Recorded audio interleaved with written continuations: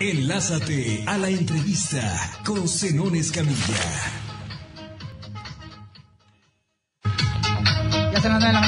32 minutos, pues hoy iniciamos con una nueva realidad, con una convivencia pues prácticamente segura. Me quede claro que aún no salimos de la pandemia, vamos a salir de la casa quizá con la pandemia, no regresamos a esta normalidad. Este lunes entramos a esta llamada nueva realidad con apertura de algunos negocios dentro de esta contingencia por el coronavirus. Sobre esto y más, me da mucho gusto saludar el día de hoy al gobernador Jaime Rodríguez Calderón, quien ya se encuentra con nosotros. Jaime, ¿cómo estás? Buenos días. Bien, será un gusto saludarte. Gracias por atender la llamada. Aquí estamos a la orden.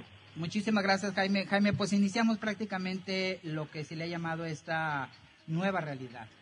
Es una nueva realidad en la que los negocios quieren y tienen que abrir por esta situación económica que están enfrentando pero también eh, con un problema de salud serio y estamos prácticamente todavía en una alerta roja, ¿no? Sí, Zenón, o sea, no son todos los negocios, son solamente algunos negocios. Vamos a probar, vamos a probarnos. Tenemos que aprender a vivir con el riesgo. No podemos seguir encerrados, tenemos que ir probando, pero tampoco podemos arriesgar a la población. Eh, la población todavía está incrédula, cree que no hay, que esto no es cierto. En gran parte de la población ya está desesperada. Sin embargo, tenemos que empezar a abrir poco a poco. No todo de trancazo, porque si no, todo el esfuerzo realizado pues, se nos puede caer. Y luego tendríamos que cerrar todo otra vez. Entonces, lo explico y agradezco tu oportunidad que me das de explicarlo. Solamente abrirán tres áreas automotriz, en, desde la modalidad, desde la agencia, el, la fabricación de carros, los proveedores que surten a estas empresas, el transporte de vehículos, este, ese es el área automotriz. El área de la construcción, siempre y cuando tengan la aprobación del Seguro Social. Todas estas empresas si tienen la autorización del Seguro Social, podrán trabajar. Si no tienen la autorización del Seguro Social, no podrán trabajar. Y estaremos supervisando que esto pase. Pero todas estas empresas tendrán que proporcionarle transporte privado a sus trabajadores. Y tendrán que ampliar sus áreas de trabajo, es decir, donde antes tenían 50 agentes trabajando, solamente podrán tener 25 o si tenían 25, pues solamente tendrán 12. Y todos tendrán que trabajar en distancias marcadas y con condiciones sanitarias muy, muy bien cuidadas. Si un trabajador adquiere un contagio en una empresa, en un negocio o en su casa, se tendrá que aislar de manera inmediata y cuarentenar. Él y toda su familia y todos sus contactos eso es lo que vamos a hacer, o sea, vamos a ir abriendo poco a poco, poco a poco, poco. Esta semana vamos a probar estas tres empresas, estos tres áreas de negocios. Y en esta semana estaremos estableciendo protocolos para centros comerciales o otro tipo de actividades de comercio y servicio. Estos tendrán que también sujetarse a un protocolo y a una aprobación del sistema estatal de salud, que tendrá que hacer la verificación de que esto puede ser y hacerse. Donde haya colas, vamos a cerrar los negocios. No podemos permitir que haya colas. La gente tiene que acostumbrarse a ir cuando no haya colas, a surtirse si es necesario de alimentos, de medicamentos, pero sin hacer las colas, porque las colas nos están dando un problema. Mira, de los 2.800 contagios que hemos tenido, la mayoría son obreros porque fueron a comprar un seis de tecates o porque fueron a trabajar o porque se fueron con los amigos. O sea, todo esto es eh, real y cierto. Tenemos un número importante de amas de casa también contagiadas. ¿Por qué se contagió la ama de casa si está en su casa? Pues no, no estaba en su casa. Salió, fue a una fiesta o fue a una reunión o su marido le llevó el contagio. Desafortunadamente quienes se mueren son los papás de ellos o los abuelitos de ellos. Pero ahí te va una noticia que no me gusta darla. También se están muriendo los jóvenes. Ya tuvimos varios decesos de jóvenes. Y también se están muriendo los menores de 40. Y entonces esto nos preocupa y tenemos que ser muy cuidadosos. Sin embargo, tenemos que probarnos. O sea, vaya, tenemos que echarnos este riesgo y hacer que la sociedad tenga esa precaución. Si tú te cuidas y tienes protección, te lavas las manos, utilizas gel, llegas a tu casa, entras sin zapatos, este, te quitas la ropa y puedes estar en tu casa y salir al trabajo, pero solamente al trabajo. Si te quieres ir al centro comercial, vamos a tener que regresarte. El centro comercial tendrá protocolos más estrictos, mucho más estrictos. Vamos a quitar en los centros comerciales las islas, las áreas comunes, no se va a permitir la entrada más que ir a comprar lo que necesitas ahí, pero no haciendo colas, ni paseándote. Por eso cines, centros, centros de recreación, casinos, salones de eventos, no van a abrir en este momento, aunque estén dentro de un centro comercial. Y esto es algo que se tomó como una decisión del sistema estatal de salud. Vamos a cuidar a la gente, pero vamos a probarnos primero si, si va funcionando esto, iremos abriendo poco a poco, poco a poco. Entiendo la necesidad de la gente. Sé que muchos de ellos tienen necesidad de abrir y de trabajar, pero vamos haciéndolo bien. Vamos a ponernos de acuerdo. Vamos a buscar cómo, cómo sí. Nosotros no queremos el cómo no. Entonces, todo esto estamos lográndolo. Si Nuevo León es un ejemplo ahorita en el país de tener menos camas ocupadas en los hospitales, es porque hemos hecho un gran esfuerzo, todos la sociedad y el gobierno, las autoridades, los presidentes municipales, los diputados, todo el mundo ha ayudado. Pero no echemos a perder eso. No abramos totalmente ahorita porque sería como, haz de cuenta que estamos en una presa. Si abrimos todas las compuertas, vamos a inundar a todos los que vivan río abajo. Claro. Oye, también me queda claro, discúlpame, que no podríamos resolver los problemas. Sí, hemos llegado ya a una cifra de 113 muertos. Ayer, simple y sencillamente, hubo 101 nuevos casos. Ya ubicamos en 2.815. Nuevo León se va a regir eh, a través de su propio semáforo, ¿verdad? Hay indicadores. Hay un, en este semáforo estamos hablando de riesgo máximo, alto, medio, bajo. Hablabas ahorita tú de la ocupación hospitalaria y nos encontramos en riesgo bajo. Sin embargo, eh, esto se puede desbordar, ¿no? Digo, hay que tener mucho cuidado también en ese sentido, ¿no? Por ejemplo, ahorita le decía yo a Manuel Vital, estaba ahorita por mensaje con él, Manuel de la O. En la mañana me di cuenta que el parque Chipín que abre, y yo dije, no, no puedes abrir. No, y si no cierra ahorita, le vamos a ir a cerrar. Es decir, no puede abrir. No vamos a abrir Parque Fundidora, no vamos a abrir Parque La Estanzuela, no vamos a abrir Parque La Pastora. Ningún parque va a abrir. Me dicen, es que los ciclistas quieren ir, pues que los ciclistas se aguanten se queden en su casa. Si no tienen que, que hacer, ¿por qué tienen que ir a andar en la bicicleta? Se pueden aguantar, porque ese es un riesgo. Van a regresar con el virus a su casa. Y su casa puede ver un abuelito, una abuelita, alguien vulnerable. Se nos van a llenar los hospitales. Y si se nos llenan los hospitales, vamos a tener que cerrar todo, otra vez y todo el esfuerzo de todos aquellos que sí han sido responsables, pues se va a echar a la borda. Entonces, si me escuchan, todos los que creen que no vamos a ir al río tantito, mira, yo, yo ayer pasé aquí por Icamole y le hablé al alcalde y le dije, al alcalde, tu policía está ahí en un crucero y tienes el río lleno de gente. Manda a la policía que platique con ellos, que les explique están poniendo en riesgo a la abuelita, al abuelito que andaba con ellos. Pues entiendo que tienen ganas de salir, lo entiendo. Perfectamente lo entiendo, no crean que no tengo corazón. Pero tengo como autoridad que prever y darles a la alerta a los ciudadanos. Diez personas, diez familias que se nos enferman, veinte familias que se nos enferman. Nos van a llenar un hospital, Senón y los hospitales no, no serán suficientes. Ve lo que está pasando en Estados Unidos, en Nueva York, o aquí mismo en México, en Tijuana, en Mexicali, en Tabasco, en el DF, en el, digo, en la Ciudad de México. Ya no hay camas. La gente se va a morir. Ya no hay espacio en los panteones. Entonces, ese es el riesgo.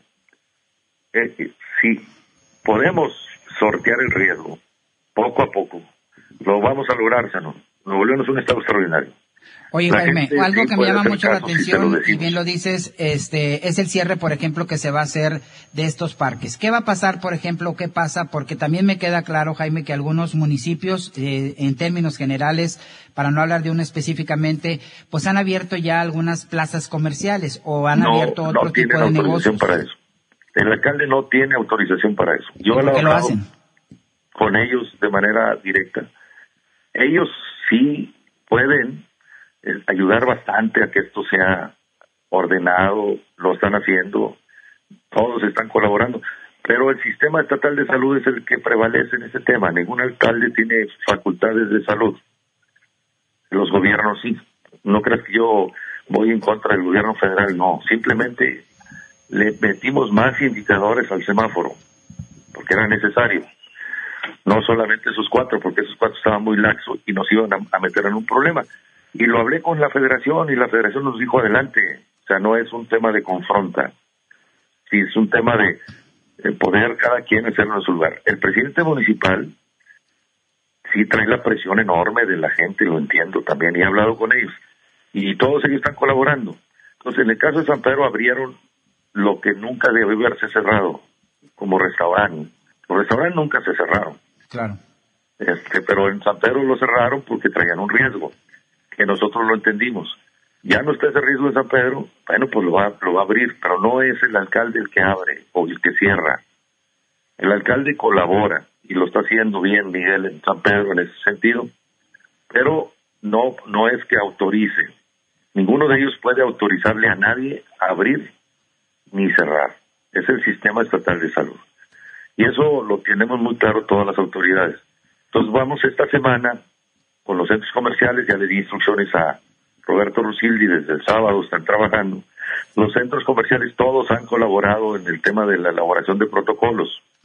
Muchos de ellos los han expuesto con nosotros. Entonces lo que vamos a hacer es hoy ahorita voy a tener una reunión de agenda aquí, donde estoy en mi casa, para en esta misma semana reunirme con los directivos de los centros comerciales, eh, de manera virtual para ir midiéndole el agua a los camotes. Y si la semana que entra, después de que si esta semana no tenemos más de 150 más o menos, dijimos 120 contagios diarios, no hemos llegado a ellos. Si logramos mantener el promedio en eso, podemos ir abriendo, porque si tenemos 120 contagios diarios, de esos el 20% va a ir al hospital.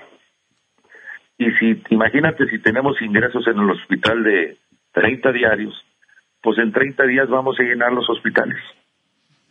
Y lo que queremos tener es los hospitales con una ocupación del máxima del 70%. Ahorita tenemos una ocupación del 30%. Pero aquí yo lo digo de manera eh, cínica, si así se quiere decir. ¿Quién quiere una habitación en el hospital ahorita? Pues Está gratis, ¿eh? No, pues nadie. Oye, Jaime, otro de los problemas... esa es la parte que tiene que entender el ciudadano y el comerciante y el dueño del negocio. Estamos cuidando a todos. Entiendo que tienen una dificultad económica. Perfectamente lo entiendo. No soy insensible a eso. Pero podemos ir abriendo poco a poco, poco a poco, poco a poco, poco a poco, de tal forma que no colapsemos el sistema hospitalario. Y si eso lo logramos, por eso yo le llamo nueva realidad no la nueva normalidad, porque nada va a ser normal a partir de ahora. Eso es algo que le quiero decir a los ciudadanos que me escuchen. Nada después de la pandemia será normal. La pandemia no se va a retirar. No hay una vacuna, no hay un tratamiento. Oye, Jaime, me queda claro, por ejemplo, que en el caso de centros comerciales y todo eso, pues se van a tener que adecuar a esta nueva realidad. O sea, pero también, eh, también me queda claro que van a ser cerrados estos negocios que de una manera u otra abran sin permiso de la autoridad de salud y sin el permiso incluso del Seguro Social, como lo comentabas.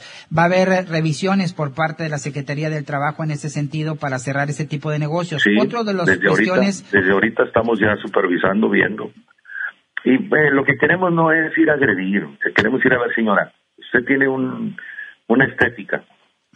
Pues primero lo que tenía que haber hecho es avisarle al sistema de salud y que el sistema de salud diga, oiga, tiene que hacer esto y esto y esto y esto. Si usted cumple con eso, adelante. Porque qué tal si se nos contagia alguien en esa estética. O se arma un caos como se ha armado con los asilos también. ¿Me explico? Digo, sí, claro. Oye, otro de los problemas que te comentaba es el problema del transporte. Ya hay eh, revisiones también en ese sentido, Jaime, cómo controlar, cómo hacer que haya más unidades para que la gente no, vaya congestionada. No hay xenón, no existen más camiones. Todos están trabajando, todos. Pero si la sociedad está en su casa, el 50% de la sociedad, ¿por qué se llenan? Pues la gente se anda paseando. Aquel que le paga a su empresa eh, y debió estar en su casa o tiene que estar en su casa, pues, ¿qué tiene que andar haciendo en la calle? O la señora, si su marido está trabajando y ella está en su casa, pues ahí quédese en su casa. Pero tiene que, no, tengo que ir a ver a mi mamá y que mi hijo tiene que ir a no sé dónde y a no sé dónde. Eso no va a ser posible ahorita, Zenón.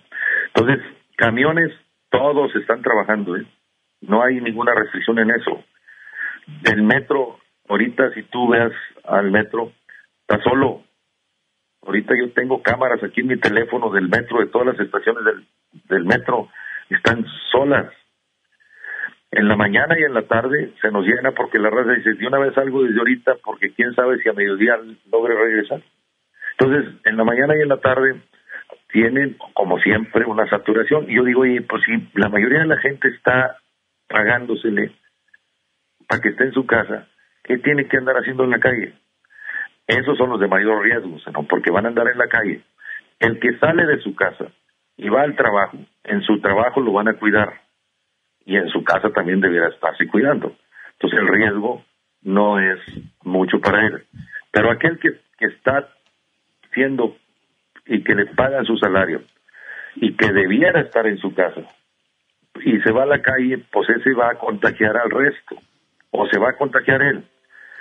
Mira, el 80% de la población nos vamos a contagiarse. Eso no tenemos reversa en eso. Pero del 80%, si el 5% va al hospital, ya nos fregamos. Ya nos fregamos. Y la sociedad, y todo el 80% va a tener que regresarse a su casa porque el riesgo va a ser mucho mayor.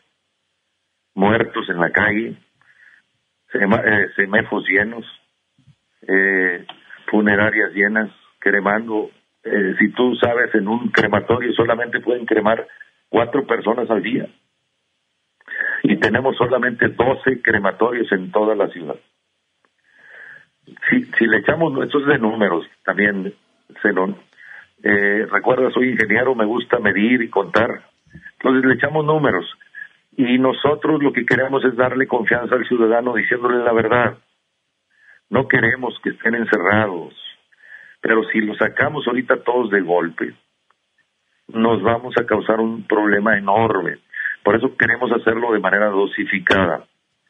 Primero esto, segundo esto, tercero esto. Esta semana si logramos resolver los protocolos de los centros comerciales para que vayan abriendo poco a poco y en porcentajes establecidos. O sea, ¿qué tiene que hacer una señora andar vuelta y vuelta en el centro comercial ahí con la carriola del chamaquito nomás porque tiene clima? ¿O qué tiene que andar haciendo los chavos en un centro comercial jugando al Nintendo y a las maquinitas que hay ahí o a las cosas? Pues eso no se va a permitir, ¿eh?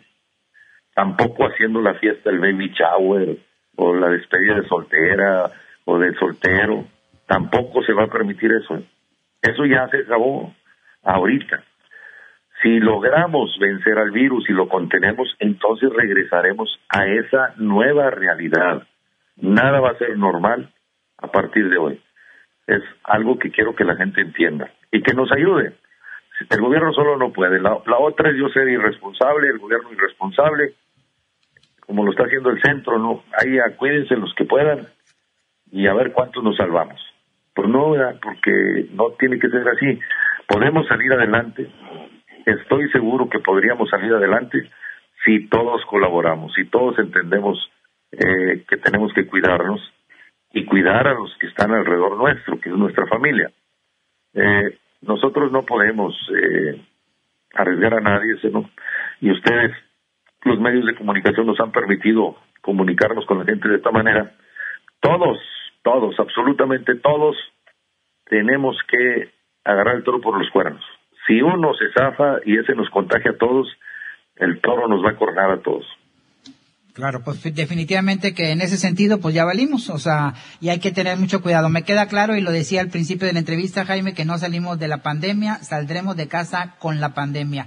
Eh, finalmente, Jaime, eh, el exhorto para la gente, porque la gente está confundida y la gente cree que a partir de hoy ya puede andar en la calle como si nada. No, no, no, no puede andar en la calle, eh, no debe andar en la calle. Ciudadanos que me escuchan, cuiden a su familia, cuídense ustedes, no lleven la muerte a su casa, no lleven la muerte a su trabajo. Eh, es algo real lo que está pasando, lo que está sucediendo. El gobierno hará todo lo que pueda y que esté de parte de nuestras manos para ayudar a aquel que no tiene ahorita empleo o trabajo. Comuníquese al 070 y le dirán qué hacer. No vamos a dejar que nadie tenga hambre. Sé que mucha gente está sin empleo en este momento pero pueden llamarnos al 070 y lo que tenga el gobierno lo vamos a compartir con la gente. Aquel que está sin empleo, que está sin trabajo, la señora de la estética que no puede trabajar, el señor que vendía en la calle o que tenía un puesto en algún lugar. Todos esos queremos nosotros ayudarles, pero necesitamos que, que se comuniquen al 070. Ahí les darán un número de un call center eh, donde estamos atendiendo a todo mundo y vemos sus problemas Sé que tienen necesidades, lo sé, pero lo que tenga el gobierno lo vamos a compartir, se los aseguro. No, nadie debe tener hambre. Sí, aunque sea para frijoles habrá, ¿me entiendes? Y habrá. No, no, no podemos dejar que nadie tenga una dificultad. Sin embargo, también los ciudadanos nos deben de entender que ir a abrir su negocio ahorita va a cometer un grave error, porque un enfermo en un hospital nos cuesta 400 mil pesos en 14 días. Eso cuesta un enfermo en un hospital. Y, obviamente el gobierno está limitado, también la gente. Pues el que tiene dinero, aunque tenga dinero, no va a tener cama, Zenón.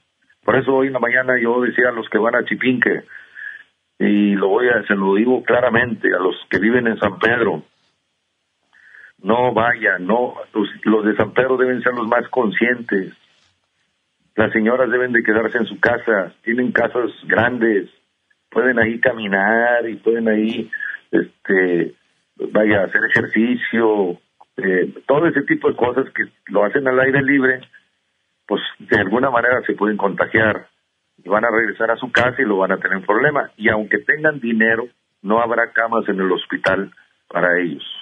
Aquí no vamos a diferenciar quién tiene dinero y quién no tiene dinero a todos por igual nos va a dar el virus y todos por igual podemos ir al hospital si no nos cuidamos. Entonces, de nada sirve tener la chequera llena si no vas a tener dónde curarte. Y no hay en ninguna parte del país, ¿eh? Y no te pueden llevar al extranjero porque están igual. La gente que quiere ir a Estados Unidos a curarse, por los hospitales de Estados Unidos están llenos. Entonces, ¿qué nos queda? Cuidarnos. Y pues cuidarnos implica sacrificio, sí, pero estaremos sanos. A lo mejor sin ya con dinero para el saldo del teléfono, o a lo mejor sin dinero para pagar la luz, pero ni modo tendríamos que estar colgados de la luz si es necesario. Yo decidí que agua y drenaje no cobre, que el que tenga para pagar lo pague y el que no tenga no lo pague, no, no, no se le va a cortar el agua a nadie. Lo que tengamos en el gobierno lo vamos a compartir. Desafortunadamente la federación no nos ha ayudado en este tema Espero que pronto lo haga, pero si no lo hace, tenemos que salir nosotros adelante. Y vamos a hacer todo el esfuerzo de salir adelante. Perfecto, pues te, agradezco bastante, el Jaime Rodríguez Calderón, gobernador del estado, por acompañarnos el día de hoy en Enlázate Radio, Jaime. Gracias, Zenón, un gusto saludarte. Te mando un abrazo muy fuerte y que tengas un excelente inicio de semana. Gracias.